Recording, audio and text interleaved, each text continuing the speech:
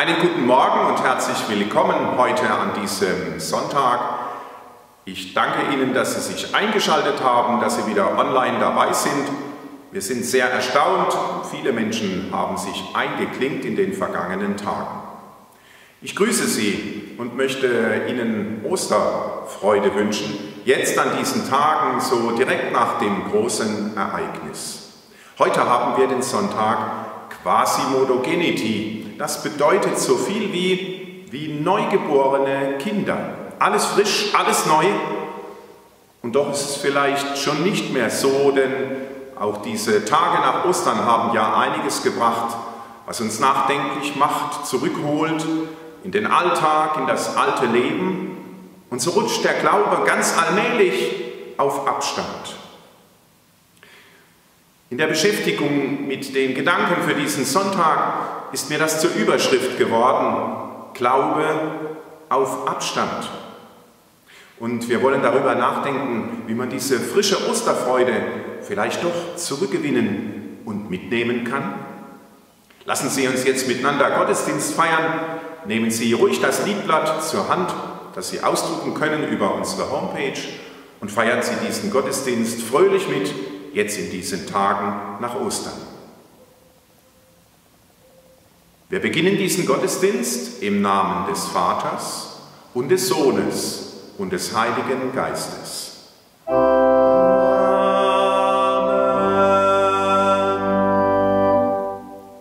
Der Herr sei mit euch.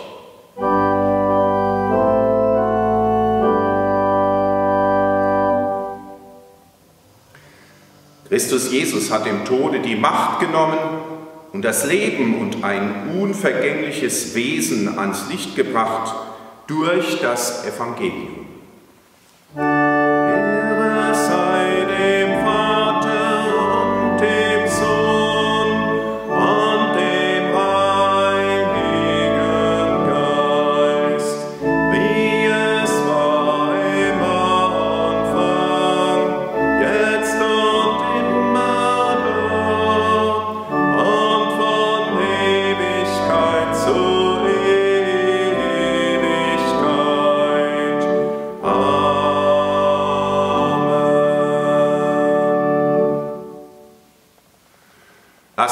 Miteinander beten. Herr Jesus Christus, ein paar Tage ist Ostern jetzt her. Da haben wir gejubelt, uns gefreut, mit Straßenkreide auf die Straße gemalt, dass du lebst, haben es anderen gesagt und wussten es so genau, dass du Macht über uns hast und alle Gewalt in dieser Welt. Aber das war letzten Sonntag, letzten Montag und diese Woche ist lange geworden. Schon wieder waren sie da, die Sorgen, die uns bedrücken, und da haben wir nicht mit dir gerechnet. Schon wieder gab es Spannungen, die uns entzweien. Jeder wollte was erreichen. Es gab harte Worte, besser wären sie ungesagt geblieben. Es gab Gelegenheit, anderen zu helfen, die Freundlichkeit, die du uns zeigst, einfach weiterzugeben. Wir haben es nicht geschafft. Herr, dass unser Glaube auf Abstand gerutscht ist, das verzeih uns. Vergib uns, dass wir dir so wenig zutrauen, dass du Tag für Tag treu bist und uns hilfst. Vergib du unseren schwachen Glauben, der in die Sackgasse gerutscht ist. Wir rufen zu dir, Kyrie eleison.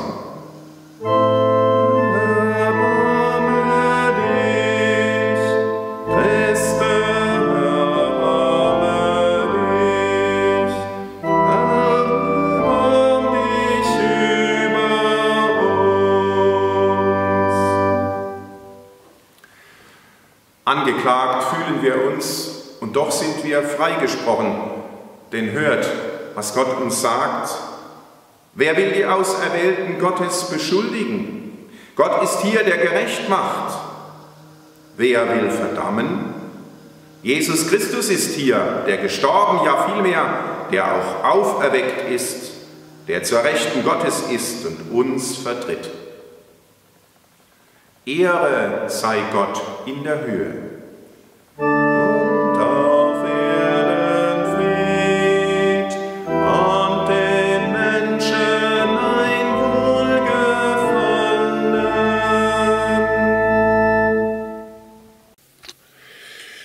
freue mich, der Simon ist heute mit im Gottesdienst, der singt mit uns das erste Lied, Herr, ich komme zu dir.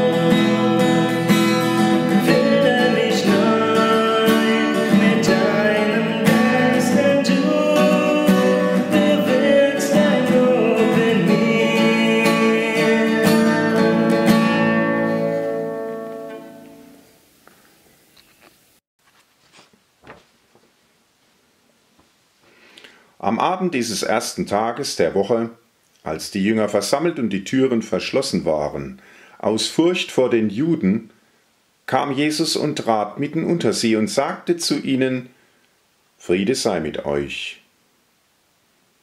Und als er das gesagt hatte, zeigte er ihnen die Hände und seine Seite. Da wurden die Jünger froh, als sie den Herrn sahen. Da sagte Jesus noch einmal zu ihnen, Friede sei mit euch, wie mich der Vater gesandt hat, so sende ich euch.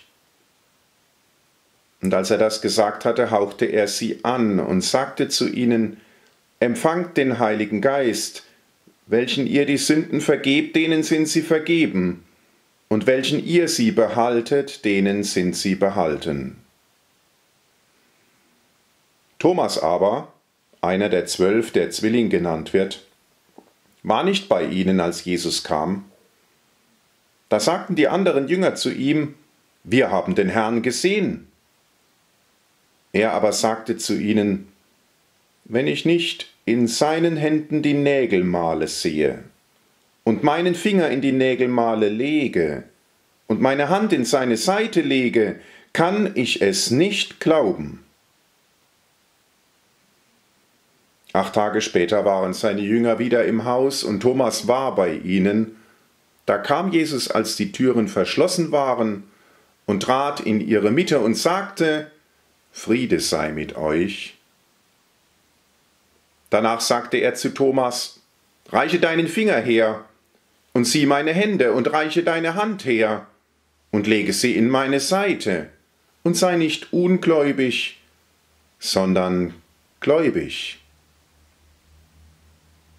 Thomas antwortete ihm, Mein Herr und mein Gott. Jesus sagte zu ihm, Weil du mich gesehen hast, Thomas, hast du geglaubt. Glückselig sind, die nicht gesehen und doch geglaubt haben.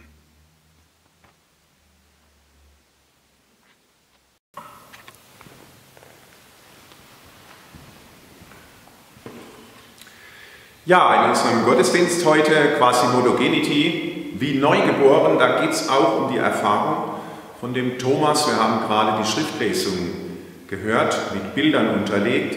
Thomas, der so ein Wanderer zwischen den Welten ist, der Erfahrung seines eigenen Glaubens, der er nicht mehr trauen kann.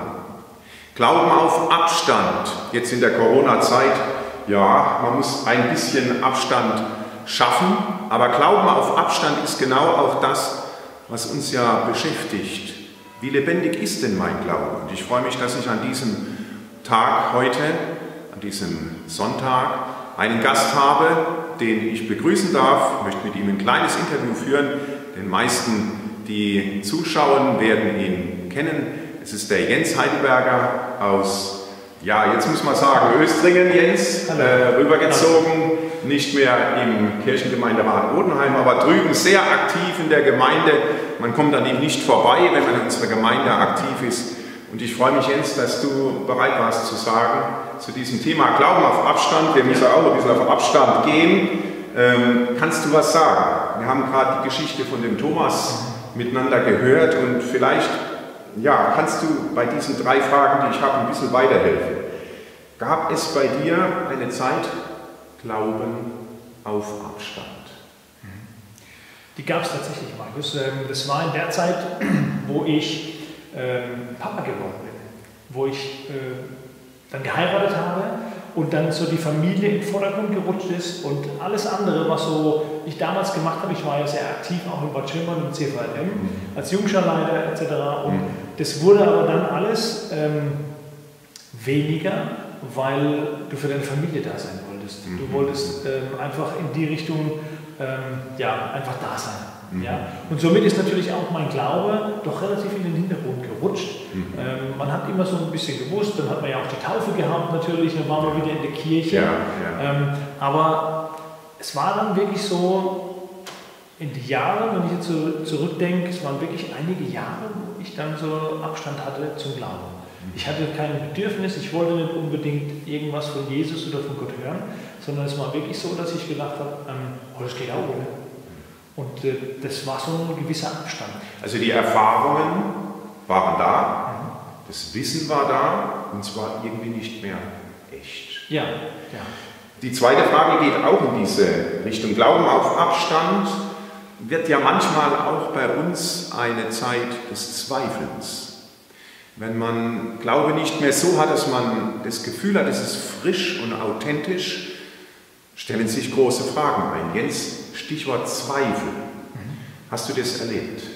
Also äh, für mich war überraschenderweise so, dass, dass diese Zweifel erst eigentlich so richtig da waren, wo ich schon tiefer im Glauben war. Mhm. Das wäre wie bei Thomas. Ja, also ich, ich, bin mit Jesus mitgegangen. Ich meine, kennst es ja noch, vor ungefähr neun Jahren war, das, war ich dann irgendwann mal äh, vor dir gestanden. Ja, ja. Ähm, in dieser Zeit des Abstandes war immer so, dass, dass Gott oder, oder, Jesus mich auch immer wieder angestochen haben, ich nenne es mal so, immer wieder angestützt haben. Ob es ein christliches Lied war, mhm. ob es jemand war, den ich damals aus der Gemeinde Bad Schönborn äh, kennengelernt habe und wir wieder miteinander ins Gespräch gekommen sind. Mhm. Und das war alles immer so nicht alleine gelassen, aber immer so mal wieder, hey, ich bin mhm. doch da. Hat mich aber nicht interessiert, mir waren andere Sachen wichtiger. Mhm. Und das richtige Zweifeln war tatsächlich erst da, wo man so richtig tief mit Jesus, mit Gott unterwegs ist, mhm. ähm, weil man dann an den Punkt kommt und sagt, hey, jetzt glaube ich, ich bin doch da, ich ja. mache doch alles, ich, ich, bin doch für dich da. Ja? ja. Ich brenne für dich, ich gebe alles für dich. Ähm, ich brauche deine Hilfe, aber es, es klappt einfach nicht. Es, man merkt einfach nichts. Das hätte sich ja der Thomas in der Situation auch gewünscht. Jesus, der ihm so ganz direkt begegnet, ihm das glasklar macht. Und ich finde diesen Moment in der Schriftlesung auch so spannend. Die Jünger bezeugen das die ganze Zeit. Und trotzdem hat er das Gefühl, mein Jesus ist nicht bei mir. Okay, also Zeit des Zweifels und naja, der dritte Gedanke, Jesus bleibt nicht auf Abstand. Das ist ja eigentlich gerade schon von dir gesagt worden. Aber woran machst du das fest? Dass dieser Abstand zu Gott, zum Glauben, lebendigen Glauben einfach schrumpft und schmilzt. Jens, wie sind deine Erfahrungen? Also es ist so, dass du, wenn du ähm, das Gefühl irgendwann hast, dass du alleine klarkommst ähm, und Gott brauchst du nicht, ähm, dann, dann schiebst du das beiseite. Ja, dann sind andere Dinge wichtiger. Mhm. Das Geld verdienen wichtiger, Erfolg zu haben wichtiger, deine Familie im Vordergrund natürlich, dass du da bist, dass du der Ernährer bist, etc. Das war alles wichtiger und es bleibt doch alles auch ohne Gott. Ja, mhm. deswegen ähm, so ein bisschen auch dieser Abstand dann gewesen. Nur war es immer so, durch die, die Anfangszeit, durch den, wo ich zum Glauben gekommen bin, hat ja. Gott in mir was wie soll ich sagen, was angezündet. Ich nenne es mal so eine Kerze, ja. angezündet. War eine kleine Flamme, dann war sie mal ein bisschen größer, ist aber dann wieder geschrumpft, aber die war nie ganz aus. Und jedes Mal, wenn es bestimmte Situationen gab, ähm, Beispiel, ich habe mein Büro aufgeräumt, dann kommen dir auf einmal wieder Jesus feiert CDs in den Sinn. Mhm. Dann sagst du, oh, guckst du mal oder legst du mal wieder rein dann hörst du die, die, die Lieder, dann, dann hast du auf einmal wieder das Gefühl, hey, ich brauche Gott, ich brauche Jesus. Ja? Ähm, dann ist es manchmal so, dass du es wieder beiseite legst, weil dann kommt ja wieder der Alltag. Ja?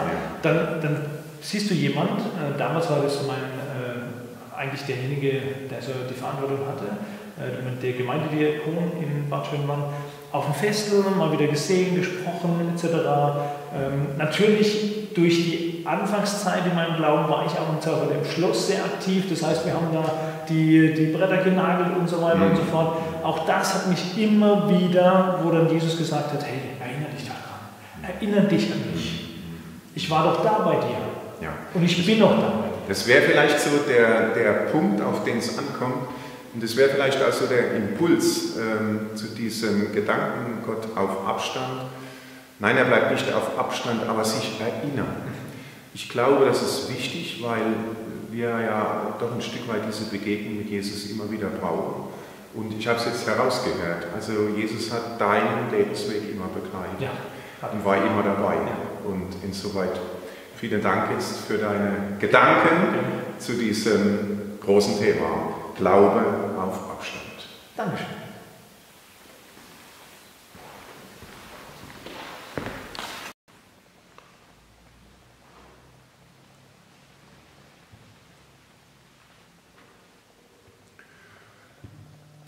Das Interview haben wir gerade gehört mit Jens Heidelberger und jetzt wollen wir miteinander singen von diesem Lied, das diese lebendige Hoffnung aufnimmt. Christ ist erstanden. Er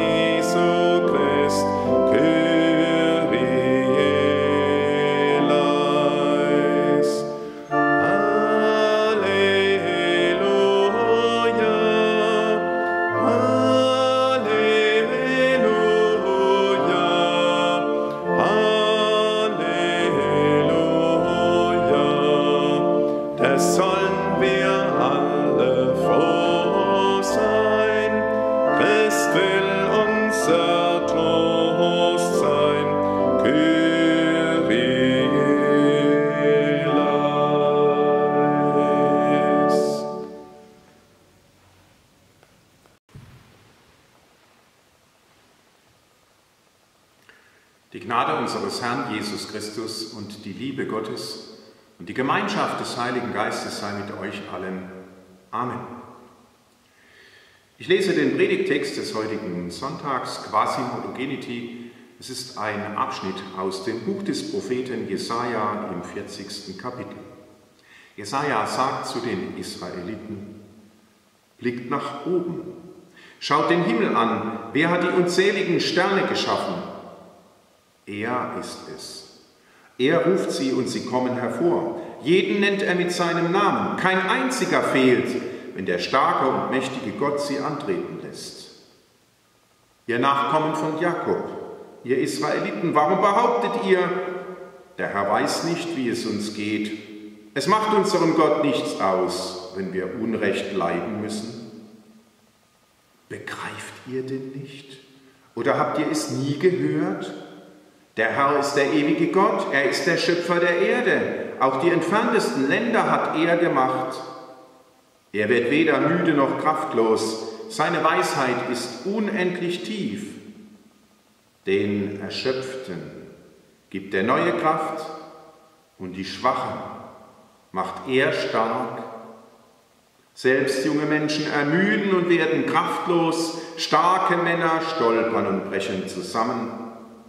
Aber alle, die ihre Hoffnung auf den Herrn setzen, bekommen neue Kraft.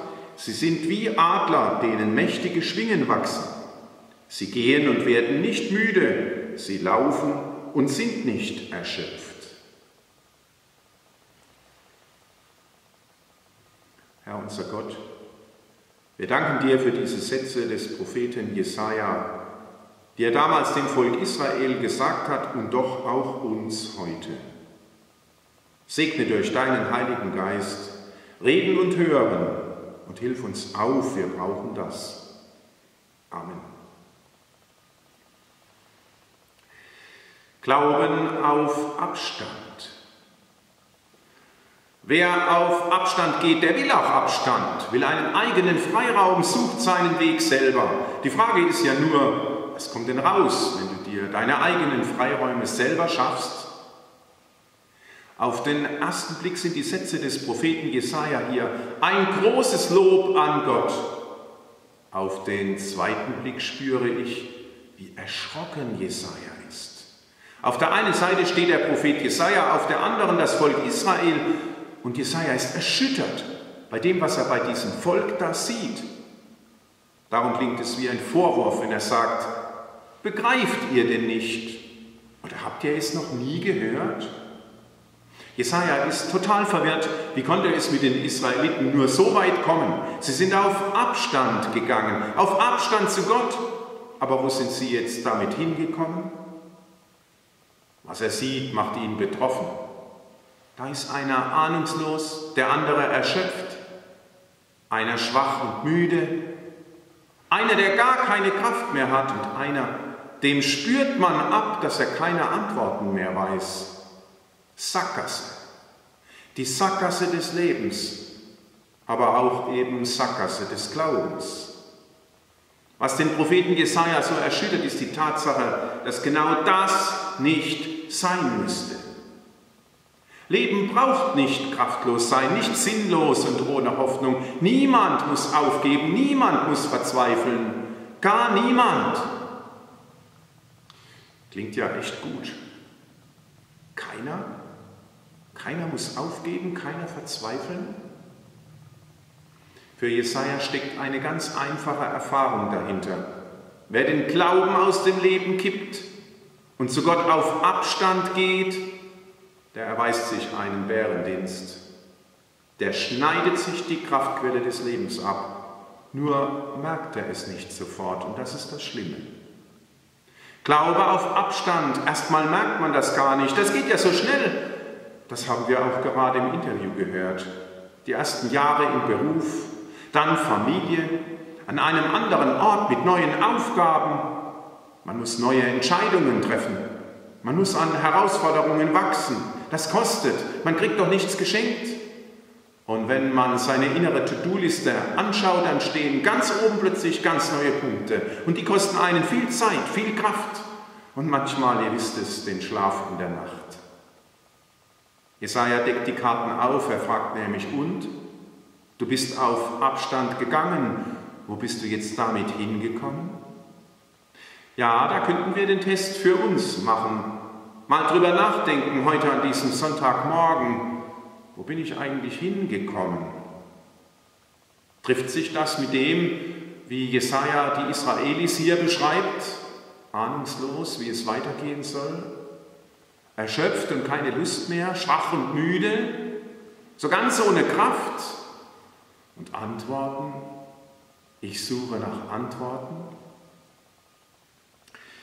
Ich weiß ja nicht, wie es dir damit geht, aber gibt es da Berührpunkte mit deiner Situation? Die Israelis waren zum Glauben auf Abstand gegangen und jetzt plötzlich spüren sie es, wie es ist, wenn Gott keine Antwort mehr gibt und wenn Glaube keine Kraft mehr gibt.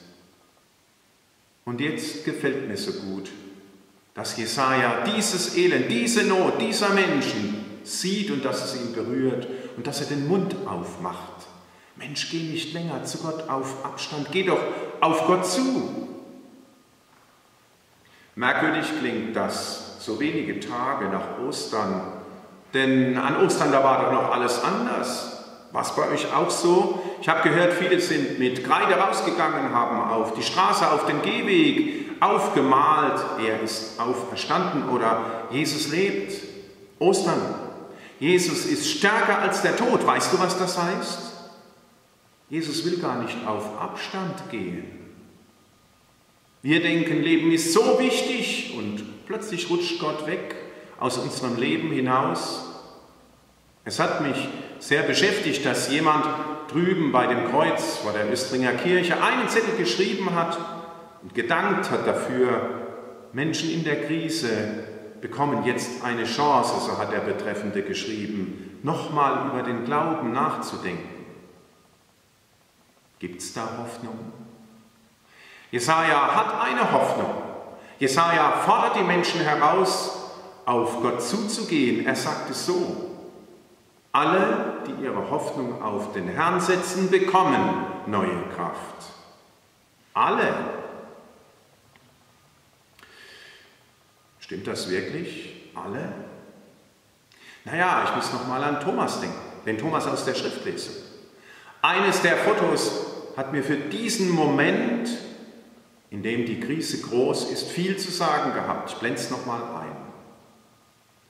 Siehst du den Thomas da sitzen? Der weiß nicht weiter. Der ist kraftlos, der ist müde, der ist ahnungslos. Thomas ist irgendwie am Ende. Sein Glaube trägt ihn nicht mehr. Thomas ist in der Sackgasse. Was er gestern noch mit Jesus erlebt hat, die Wunder, die Jesus tat, die mächtigen Gebete, die Jesus sprach, die Menschen, die durch Jesus total verwandelt worden waren, wie neugeboren, strahlend und fröhlich, das war doch gestern. Das ist heute leer und bedeutungslos. Und dann dieser Kontrast auf diesem Bild zu seinen Freunden. Die fangen immer wieder davon an, dass Jesus angeblich lebendig ist, wo das doch nicht sein kann, denkt Thomas. Dieses Bild hier trifft den Moment der Krise ganz genau. Manchmal ist man so unendlich einsam. Manchmal ist man in dieser total kritischen Phase des Glaubens, dass der Glaube einem nichts mehr gibt auch wie die außenrum vor Glaubensfreude sprühen. Ja, was macht man denn dann, wenn Glaube so auf Abstand geraten ist?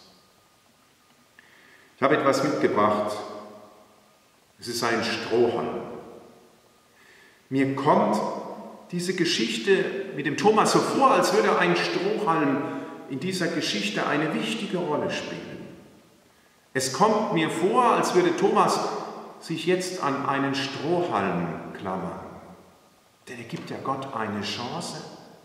Wenn Gott tatsächlich so mächtig ist, dass er Jesus von den Toten auferwecken kann, wenn Gott tatsächlich all die Rahmenbedingungen des Lebens in der Hand hat und verändern kann, dann habe ich diesen kleinen Hoffnungsstrahl noch, dass ich an Gott glaube, wenn er sich mir zeigt.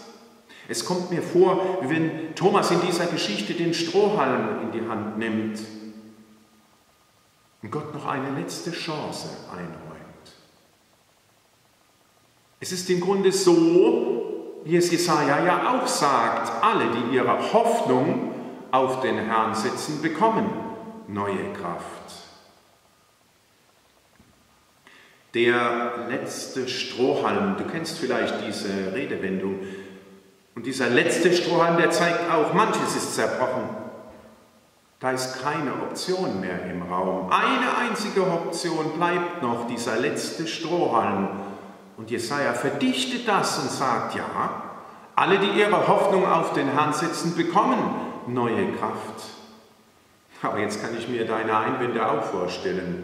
Es ist doch nur ein dünner Strohhalm. Und mit diesem Strohhalm ist es nicht mehr sehr weit, der ist so leicht zu knicken. Lohnt sich das? Alle, die ihre Hoffnung auf den Herrn setzen, so sagt es Jesaja, bekommen neue Kraft. Und nun musst du genau hinhören.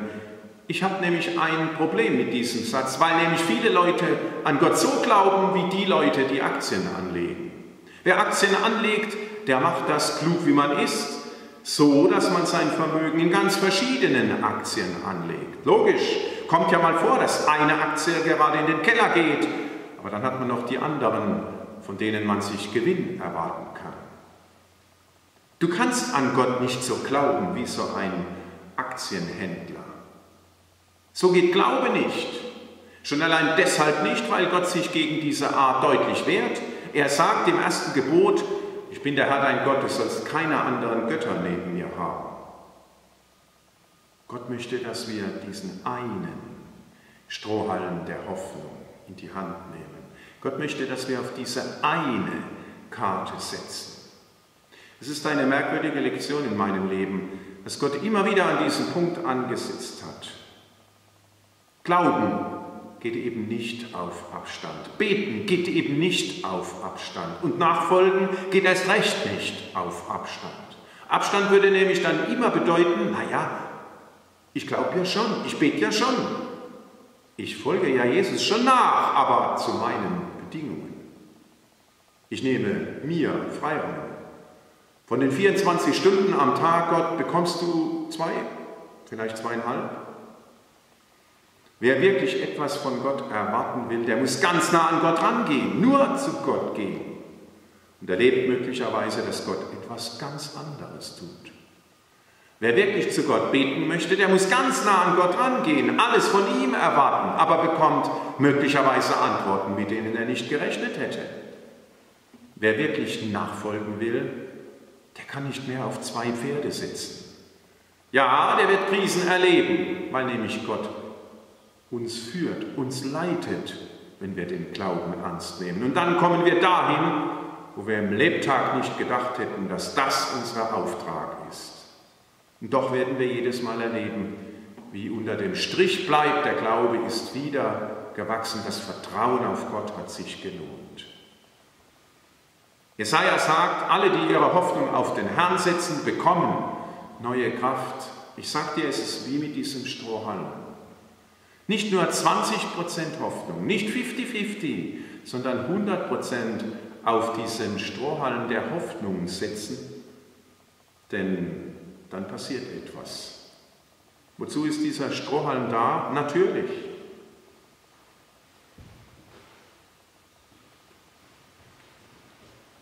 Der Strohhalm bringt mir das, was ich brauche.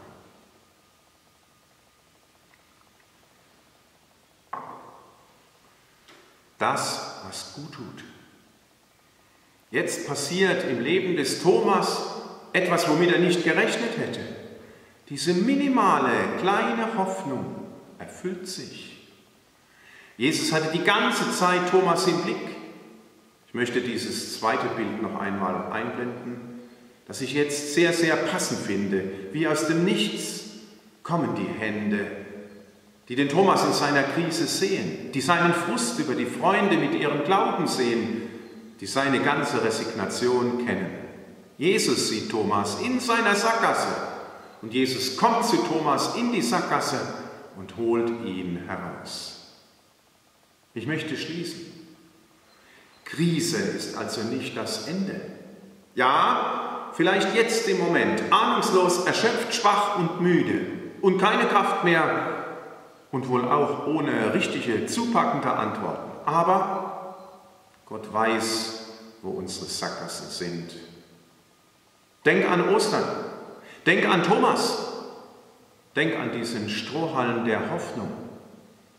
Gott steht hinter diesem Versprechen, das Jesaja den Israelis damals sagt: Alle, die zu Gott kommen, alle, die ihre Hoffnung auf den Herrn setzen, bekommen neue Kraft.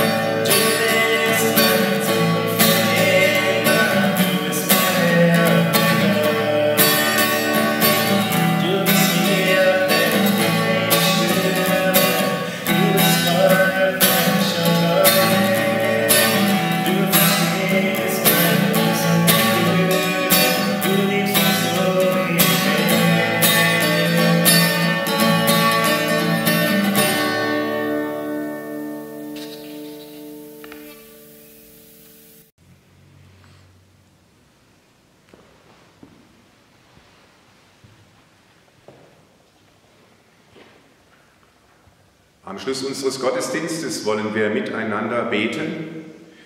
Ich habe dazu Bilder mitgebracht, ein Bild mitgebracht, das das Kreuz zeigt, auf das ich am Ostermontag hingewiesen habe. Jetzt ist es übersät von ganz verschiedenen Bitten, auch Dankesbitten unserer Gemeindeglieder. Diese Input habe ich genommen um dieses Gebet, Fürbittengebet heute aufzunehmen hier in unserem Gottesdienst. Lasst uns miteinander beten. Lieber Herr und Gott, unser Vater, danke, dass Ostern nicht umsonst geschehen ist. Danke für die Erlösung, die Vergebung meiner ganzen Schuld, den Glauben, aus dem ich jetzt Kraft schöpfen kann. Danke dafür, dass du mir die Augen geöffnet hast und ich Gelassenheit spüre. Danke für die Menschen, die in der Corona-Krise zum Glauben gefunden haben. Danke für die Familie, mit der ich die Krise ertragen kann. Mehre unseren Glauben und unsere Zuversicht. Gib uns Mut, unser Vertrauen auf dich zu setzen. Wir beten für Kinder und Jugendliche, deren Zuhause jetzt in diesen Tagen kein sicheres Zuhause ist und denen diese Tage extrem schwer werden. Wir beten für Menschen, die die Sorge und Angst kaum noch aushalten können. Wir beten für die Menschen, die im Hospiz sind, nun den letzten Weg alleine gehen müssen, weil sie nicht besucht werden dürfen. Wir beten für die unter uns, die sich um Corona-Patienten kümmern beschütze sie.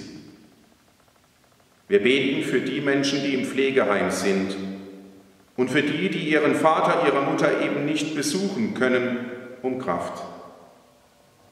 Wir bitten dich, dass die Forscher ein Medikament finden, das wirklich hilft. Wir bitten dich, dass die Krise für viele Menschen eine neue Chance wird, dich zu finden.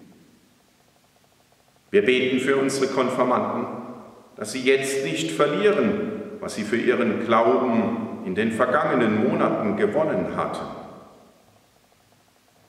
Wir beten für alle Eltern, deren Kinder tief in der Pubertät stecken, sodass die Luft einfach nur noch zum Schneiden ist. Wir beten für Menschen, die aufgegeben haben, von dir etwas zu erwarten. Wir beten für die Schulen, die Schüler und die Lehrer, dass sie einen guten Weg des Lernens miteinander finden. Und wir danken dir für die tollen Ideen, die wir für unsere Kirchengemeinde gefunden haben, um mit Menschen in Kontakt zu kommen. Es ist wie ein Geschenk. Höre du bitte auch, was wir jetzt in der Stille dir anvertrauen.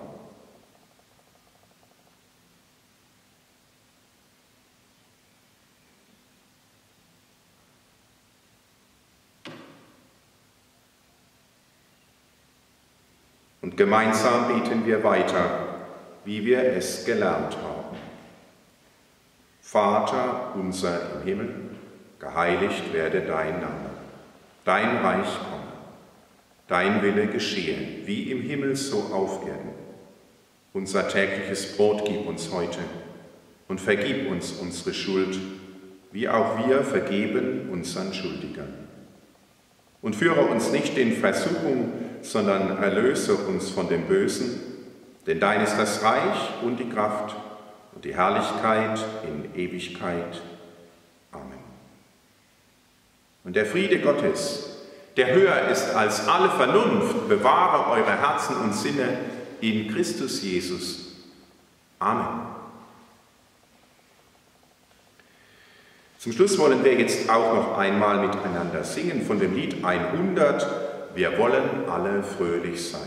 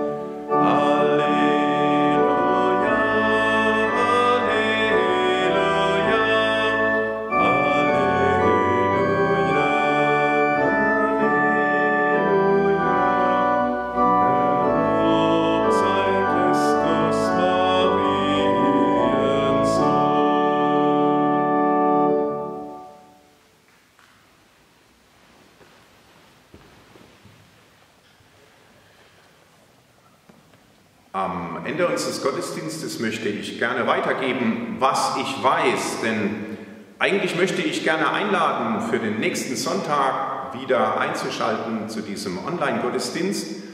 Allerdings haben wir ja alle auch mitbekommen in diesen Tagen, wird jetzt, seitdem politische Entscheidungen gefallen sind, heftig diskutiert, ob nicht doch Gottesdienste bald wieder stattfinden können.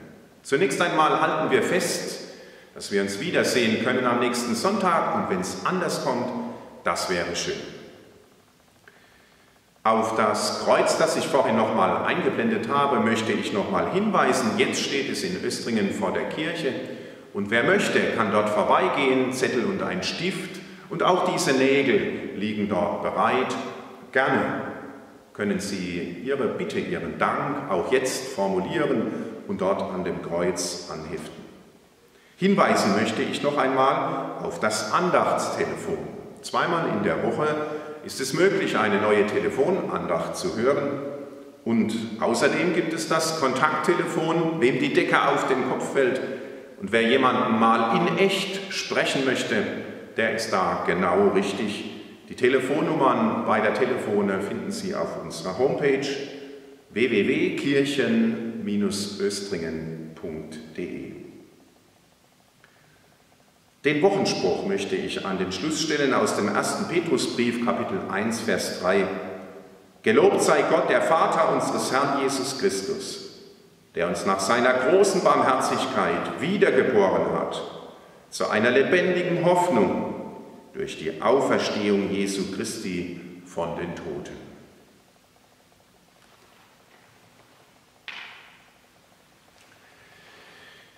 Dass der Glaube nicht auf Abstand rutscht, das möge Gott Ihnen und euch schenken. Und deswegen hört den Segen, der von uns von Gott gegeben wird. Der Herr segne euch und behüte euch. Der Herr lasse sein Angesicht leuchten über euch und sei euch gnädig. Der Herr erhebe sein Angesicht auf euch und gebe euch Frieden.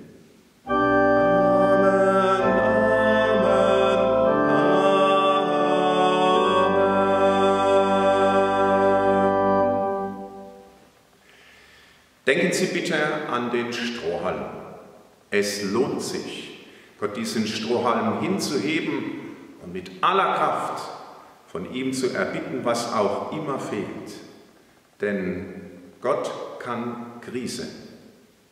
Machen Sie es gut und bleiben Sie gesund. Bis wir uns wiedersehen.